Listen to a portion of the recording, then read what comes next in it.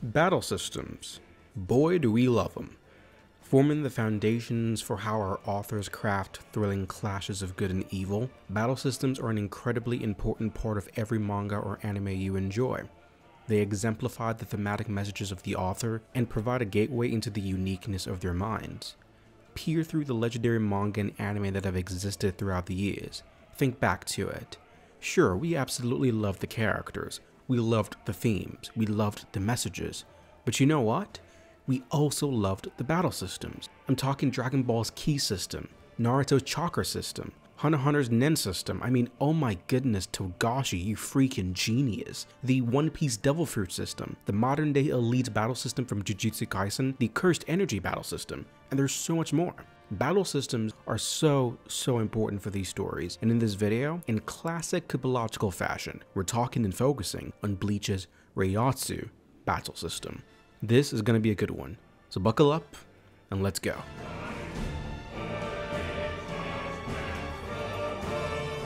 Building from the simple up to the complex, what lies at the very origin of Bleach's battle system is something called Ryokyu, or spiritual power, I personally like to call it spirit energy. Every spiritual being and human contains a certain amount of spiritual energy. When this energy is harnessed and trained, it sort of levels up into a more complex quality called Reiatsu, or spiritual pressure. And this spiritual pressure is where all the fun really happens. Whether you're Quincy Hollow, Shinigami Human or Fullbringer, the foundation of whatever ability you use comes from this thing called spiritual pressure. So, what I'm going to do here is cycle through the different major quote races of Bleach and break down their part in the battle system, along with any important ideals that make it function. So let's start big with the Shinigami. The Shinigami makes up the biggest part of Bleach cast, so a lot of time is spent elaborating on the ways Shinigami fight. In fact, when you think of Bleach's battle system, you essentially just straight up think of the Shinigami style of fighting.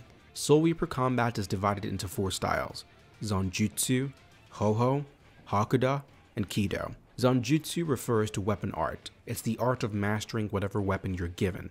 In one sense, it's basic swordsmanship mastery, but also in this category is Zanpakuto mastery, like Shikai and Bankai. Ho-Ho means movement art. For the Soul Reapers, movement art revolves around something called Shunpo, or flash step. Hakuda refers to martial arts, your ability to fight via hand-to-hand -hand combat. And finally, Kido is the magic art, measuring your proficiency in three subdivisions binding spells or Bakudo, destruction spells, otherwise known as Hado, or healing spells, known as Kaidos. For a Soul Reaper to be deemed elite, he needs to be proficient in all four areas of Soul Reaper combat. We're going to break down all these fighting styles, don't you worry, and we're going to start from Zanjutsu. Okay, so when a Soul Reaper enters the Shinyo Academy, they're given something called an Asauchi. It's a nameless sword that can become anything. The Shinigami is taught to spend time with this sword and imbue it with spiritual pressure. Eventually, depending on their level of talent and perhaps maybe the nature of their Zanpakuto, they'll be able to hear the voice of their Zanpakuto. If they're able to call out the name of their Zanpakuto, their sword transforms, taking on a unique visage. This first step is called Shikai. Every Shikai has a unique ability to it and a unique name. The Soul Reaper must interact with his sword, talk to it, converse with it, and grow closer to it. The key ideal that you must understand about Bleach's battle system, in contrast to other battle systems in anime, is that you can physically train to be better at sword play. You can train your body to move faster, to use stronger Kido, and so on. But Zanpakuto mastery is not tied to physical training. You're gonna have a hard time appreciating what Kubo is doing if you expect training arcs to be like other shows, where they're physically pushing themselves, taking weeks, months to years on end to learn something. In Bleach, the key components between Zanpakuto and Soul Reaper is synergy and understanding. What this means is that the closer you are to your Zanpakuto, the stronger you will be as a Soul Reaper. It also indicates a direct correlation between age and Zanpakuto mastery. If getting closer to your Zanpakuto makes you stronger, then those who have lived longer and thus spent a longer time bonding with their blades will be stronger. So if you've ever wondered why the old dudes in Bleach are so OP as hell, like a Yamamoto or a Yachiru Unohana and the other hell-based captains or even Shunsui Kyoraku, it's because they've been alive long enough to pretty much learn everything they need to know about their swords. What this means is that it's not unusual to watch or read Bleach and have Ichigo be of a certain power level. He then goes into training, but his training is only I don't know, three days. But within those three days, he learned something really important about himself and his sword, and as a result, comes back 10 times stronger than before. Other anime fans look at that and say, man, look at that terrible writing, or Ichigo always has it easy, or he learns everything so quickly, whatever point they may be making. In reality, within this world, what Ichigo has done is extremely important. This particular criticism of Bleach really bothers me, so forgive me if you already understand, but I want to give an example that will tie this together properly. Let's say you have two sets of a couple. We'll call them couple A and couple B. Now, couple A has a huge fight and they break up. The reason they broke up is because the man in couple A wasn't spending enough time with his girlfriend. She wasn't having that and she broke up with him. Cool. Now, couple B also breaks up for the same reason. Same reason on both ends. Now that both have been broken up with, we find that it takes the man from couple A one week to realize that it was his fault for not being there emotionally for his former girlfriend. He comes to realize that he spent a lot of time on video games and did not show her the love and respect she deserves. He learns all of this in three days. Now, make no mistake, he doesn't get her back. She's gone forever. But he learns his lesson, he forgives himself, and he moves on. He eventually finds another girlfriend, and he doesn't make the same mistake twice. Now, the man from couple B has the same situation, but instead of three days, it takes him three years to undergo the proper mental maturation to realize that it was his fault. It takes him three years to accept his faults and his failings. Once he does so, he forgives himself, moves on, and finds another woman to be with. Okay, measure these two instances beside each other. Both reached the same place, but one reached there in three days, and the other in three years. Is it fair to say that the man in couple A meant it less because he completed it faster? And is it fair to say that the man in couple B loved his girlfriend way more than A because it took him three years to get over her? Neither seem fair. The fact of the matter is, different people mature at different rates. There's no right way to do so. And so my point in all of this is to say, maybe Goku needed to spend years in the hyperbolic time chamber. Maybe Naruto had to endure months of training for Sage Mode, and maybe Luffy had to train with Rayleigh for two and a half years. That shouldn't and doesn't diminish Ichigo going to the Soul King's palace, having a revolutionary conversation with old man Zangetsu, learning the truth of his history and his birth and his family lineage, and coming out with more power than most captains. One is not more important than the other, and one is not more impressive than the other, unless you believe that things should only happen one way. In Bleach, things are different. That's just a fact. Okay, so now that we've cleared that up, let's circle around back to Shikai. Once you learn your Zanpakuto's name, you earn a Shikai. Within the world of the Zanpakuto, there are categories. For example, you have elemental type Zanpakutos. You think Ryujin Jakka from Yamamoto, or Hyorin Maru from Toshiro. You have your close range types like Renji Zabimaru or Ikkaku's Hozokimaru or even Kenpachi's Nozarashi. And then there are hacks types Zanpakutos like your Kyoka Suigetsu from Aizen or your Katen Kyokotsu from Shunsui Kyoraku and so on. There are a ton of different kinds of Zanpakuto that exist and they usually fit into certain categories. Another important thing to understand about Zanpakuto Shikai is the difference between techniques and abilities. In Bleach, each Zanpakuto has an ability, but that's different from a technique. Let's look at an example.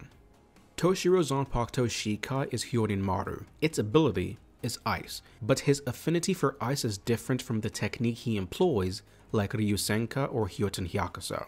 In other words, it's just important to remember that Shunsui Kyoraku's Zanpakuto ability turns children's games into reality, but when he does an Iro Oni or a Bushoguma, those are techniques and not his Zanpakuto ability. You might be hearing that and thinking that's not that important, but it is, because for someone like Ichigo, Getsuga Tensho is not a Zanpakuto ability, it is a Zanpakuto technique.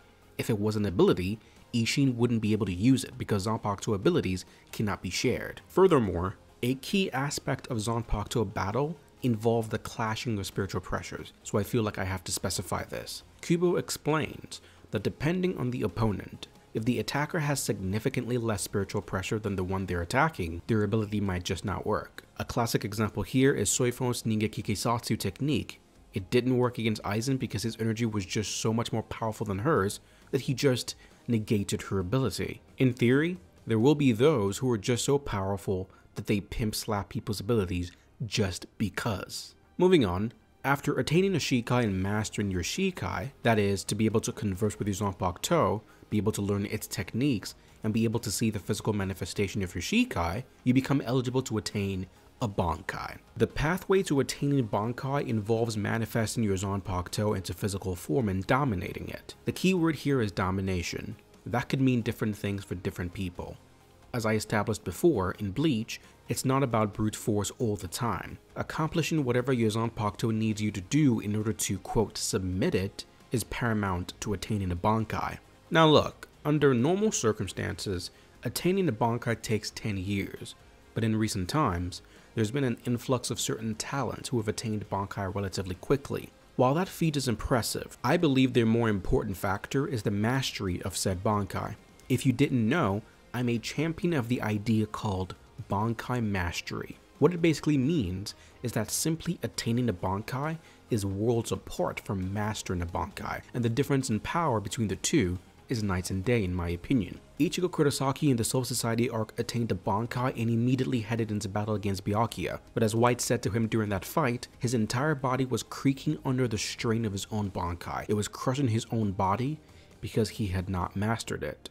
Take Renji. Against Byakuya in the Soul Society arc, while he was using Hihio Zabimaru, he lost control of his blade and it cost him that fight. Rukia Kuchiki in Thousand Year Blood War. She unleashes Hakka no Togame and it's an incredibly powerful Bankai, but in this state, she cannot move, and if she does not take careful time raising her temperature back to normal, she will die. Kenpachi Zaraki's Bankai, he ticked back his arm to swing at Gerard Valkyrie, and his arm blew off. It literally just poof, just like that. Why?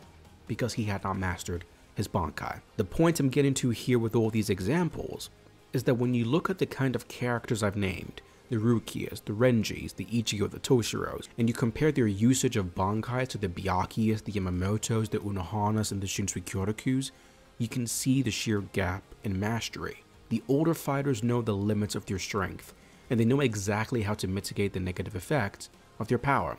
Byakuya created a safe zone within his Senbon Zakura because he understood that his Bankai was just that dangerous, if he did not take care of himself. Yamamoto and Shunsui have very clear ideas on how long they can remain in Bankai, and they do not extend its usage beyond a very specific point. That is the value of Bankai mastery. One does not simply attain a Bankai. No, one must master it.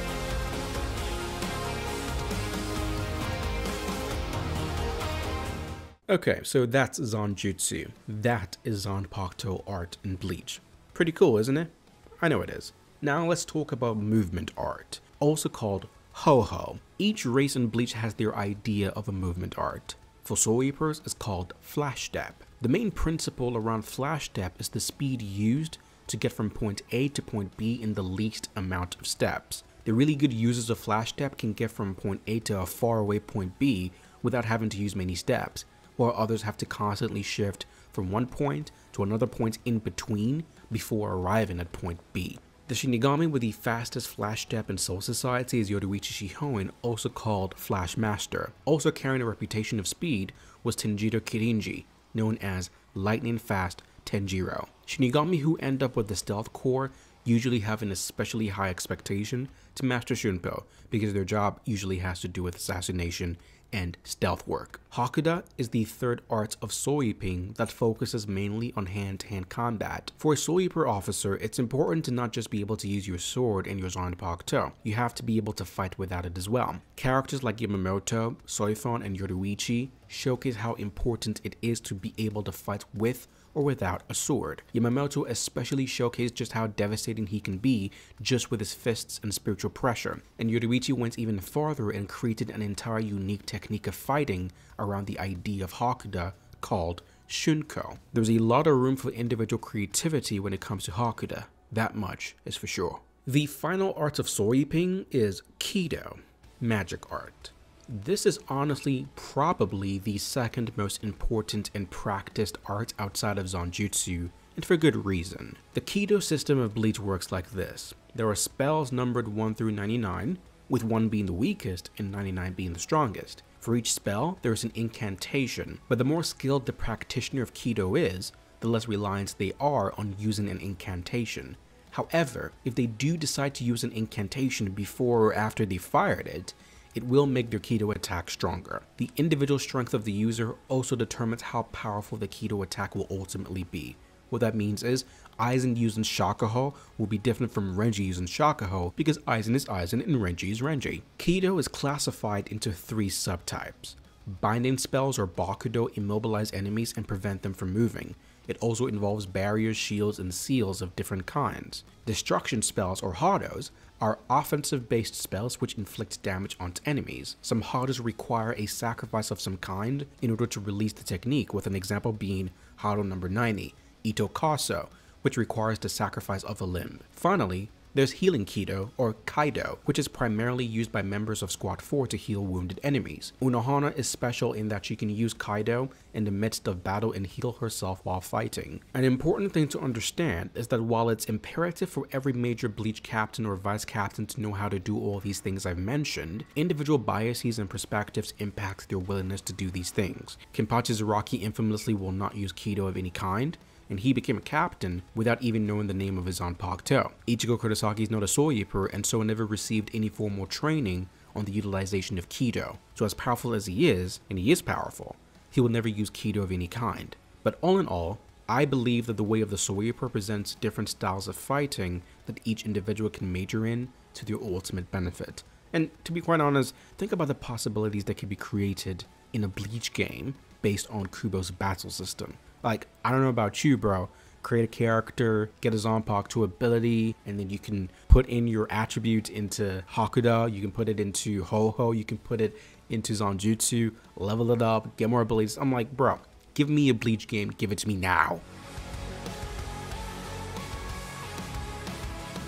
Now let's talk about the Arrancars slash Hollows. On the opposite side of the Shinigami stand the Hollows and Arrancars of Hueco Mundo, and they have a mini battle system onto themselves. Arrancars are Hollows who have removed their masks and crossed over to the world of the Reaper, incorporating aspects of Reaper combat into their own. To start with, Arrancars possess something they call a Hierro, their tough outer skin that acts as an armor. You instantly need to be of a certain power level to even pierce their Hierro. Ichigo's Tensa Zangetsu wasn't able to pierce Grimmjow's Hierro, and that's how Grimmjow would just grab Ichigo's blade barehanded with no issue at all. Arrancars then have another ability called a Pesquisa, meaning inquiry. It allows them to sense and measure Reiatsu. This is how they're able to know if an opponent is more powerful than them because in some situations, they may elect to run and preserve their lives instead of fighting the battle they cannot win. If they do decide to engage in combat, Arrancars have a plethora of abilities at their disposal. They have their Cero attack, which is a powerful release of light only hollows can fire. They have a smaller, less powerful, but faster version of the Cero called the Bala, and a greater, more powerful version of the Cero called a Gran Rey Cero. Their movement technique is called the Sonido, which means sound ceremony, and you can tell the difference between Sonido and Shunpo based on the sound it makes. Shunpo sounds like paper ripping, whereas Sonido sounds like a big boom.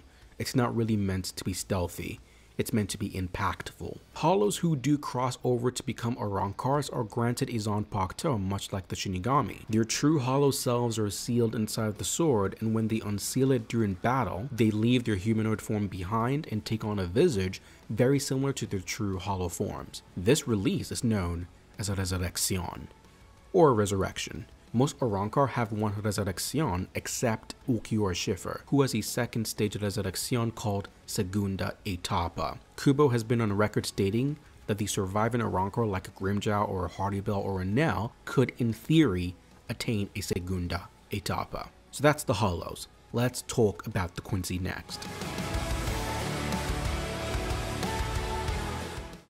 The Quincy are a race of spiritual beings with inherited power from Yuha that allows them to harness the Reiatsu in the atmosphere around them for battle. They are especially weak against Hollow Reiatsu and can die if they are wounded and killed by a Hollow, but in exchange, Quincy are able to completely destroy Hollows, unlike Soul Reapers who just purify them. Even though all Quincy utilize bows and arrows in general, you'll find that modern Quincy are not bound by archery combat compared to their comrades in the past. Quincy's are taught how to draw energy from their surroundings in order to craft their weapons, something that is typically what we call a holy arrow or a Heilig Pfeil. They utilize this method of drawing energy and amass it at their feet to create a stream of reishi that they're able to skate over, that is called Hirenkyaku. Unlike the Sonido and the Flash Step, Hirenkyaku seems to give them a foothold to shift and skate over. Soul Reapers and Hollows can fly, but it's just a little detailed difference between the three of them. The Quincy's have a few unique abilities they can use in battle, and I want to go through the major ones that play important roles in the story of Bleach. When it comes to Quincy Craft, there are two different interpretations of it.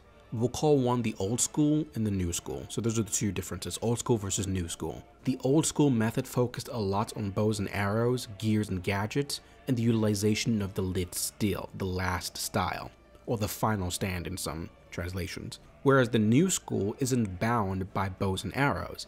It doesn't use a ton of gear and has a better version of the Letzt Stil called the Vollstandig, or uh, do we pronounce it the Vollstandig? I'm just gonna say complete holy form and be done with it. But let's talk old school first. For the old school, Quincy are able to form different kinds of bows. There are Reishi bows, where it looks like the bow in of itself is just a manifestation of Reishi, and then there are large physical looking bows like Uryu had in Soul Society. But then even beyond that, there are smaller, more mobile types of bows like Uryu in Fullbringt and Ryuken uses sometimes in Bleach. Kubo doesn't spend a lot of time explaining the value of the different sizes, but I can imagine the smaller ones are able to be fired by one hand, whereas the longer ones can pack more power but require two hands. And so it's probably a matter of speed. Smaller bows increase speed, bigger bows increase attack potency. In the old style of fighting, if a Quincy undergoes the sacred holy training, which is to head to the fifth field and put on a Sanrei glove, and then proceed to fire arrows for one week straight without stopping, they reach the pinnacle of power if you're an old school Quincy, which is kind of funny, but you know, bear with me. If you put on the Sanrei glove and you fire an arrow in the fifth field for one week straight, you maximize your ability. However, should a time arise when the Sanrei glove abilities are not great enough, the Quincy can take off the glove for a one-time massive boost in power that will cost them all of their spiritual energy. This is called the Letzt Stil slash last style slash final stand. Take your pick, whichever you like. Now, the last style of a Quincy is not a joke. Just for perspective, Uryu in his last style form one-shotted Mayuri Kurotsuchi in Bankai. One shot. Mayuri. Like, this is not a joke. I don't even want to think of how good Uryu would do against other captains in his last style form because he was really, really strong. There's a few more gadgets that Uryu has via the old style, but these are the major points I care to elaborate on for the purposes of where we're going to go in the future. So moving on to the new style of Quincy, the new school, there's a ton of more variety to play with here. First, we have the Blut Arterie. It involves channeling Reishi through the vascular system of the Quincy and using that to physically enhance their bodies. The inverse of Blut Arterie is Blutvene, which enhances their defensive capabilities, enabling them to block Shinigami blades with just their hands. You famously see this when Uryu clashes with the Squad Zero member known as Senjumaru, blocking her attacks with his blut.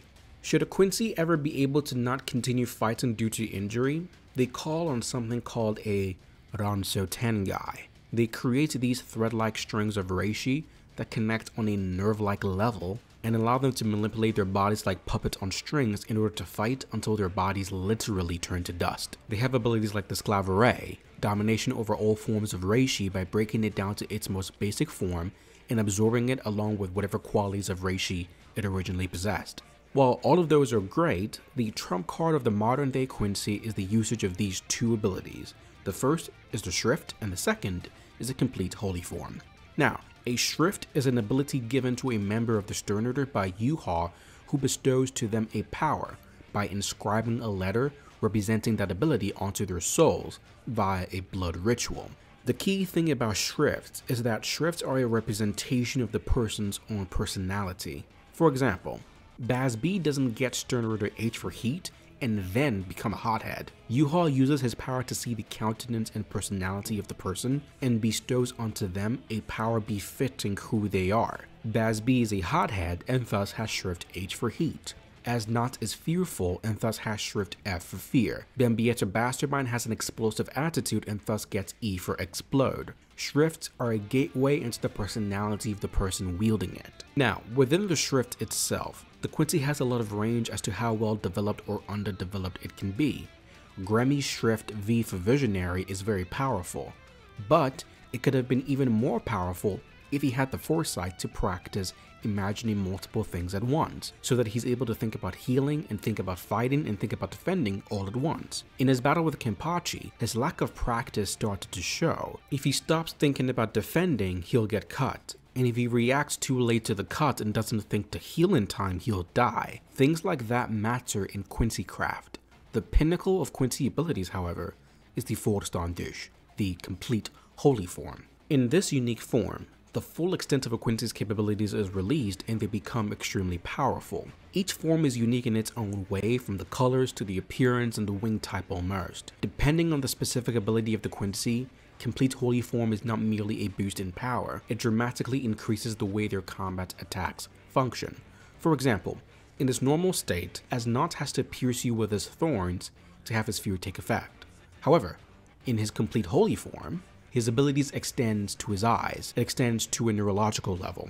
If you look at him, his ability can have effect. There are also Quincy who are imbued with powers of the Soul King, and as such, their complete holy forms are tied to the power they possess. Someone like a Pernida Parnkgjas and a Gerard Valkyrie, whose power is rooted in Soul King based abilities, will be slightly different from, say, a Bambietta or a Baz B. Finally, let's talk about Fullbringers. I don't actually have a lot to say about Fullbringers, but I want to hit on just a few important factors, and then we'll get out of here. Fullbringers are spiritually aware human beings whose mothers were attacked by hollows before they were born. Traces of hollow Reiatsu remain inside the mother and is consequently passed on to the child. This gives them a very unique special ability. The main foundation of their power, namely the Fullbring, draws on the soul that resides in inanimate objects and uses them for combat. In the Fullbringer combat system, each Fullbringer needs a token on which to draw their powers from. Ginjo Kugo's Cross of Scaffold has a token which is his chain. For Tsukishima, it's his book. For Ichigo Kurosaki, it's his combat pass. Each Fullbringer has a physical item that acts as the conduit through which they're able to use their Fullbringer abilities. Using their powers, they can walk on water, they can manipulate liquids, and they can create footholds in the air to boost speed. That's called Bringer Light. The important difference you'll find in Fullbringers versus other creatures is that Fullbringers are still human, and so the abilities that they're using are tied directly to their physical body. This isn't a soul being separated from a body. You use your ability with your real body. What that means is that you tire easily if you do not do extensive work to build your stamina. The different kinds of abilities they possess is honestly, in my opinion, is quite varied. There doesn't seem to be any real structure at play here, like Orihime and Chad, who are Fullbringers, have vastly different abilities.